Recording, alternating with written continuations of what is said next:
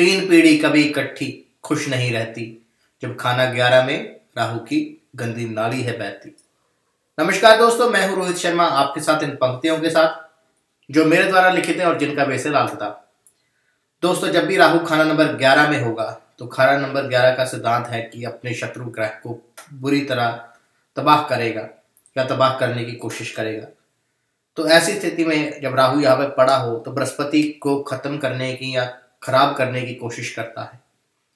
अगर ये जातक सिगरेट पीता हुआ, जितना सिगरेट ये फूकेगा, उतनी प्रॉब्लम इसके पिता को आएगी या दादा को आएगी, अगर दादा जीवित है। देखा गया है मोस्टली कि इस कुंडली में तीन पीढ़ियाँ कभी इकट्ठा नहीं होती मीन्स की दादा, पिता और पोता। या दादा के रहते हुए पोता नहीं होगा, या पोता हो गया तो दादा चल बसेगा। ऐसे में ऐसे जातक को कभी भी नीलम धारण नहीं करना और नीले कपड़े नहीं पहनने और स्मोकिंग अवॉइड करनी है। धन्यवाद। दोस्तों, अगर आपको ये वीडियो अच्छा लगा तो लाइक एंड शेयर कीजिए और कमेंट कीजिए।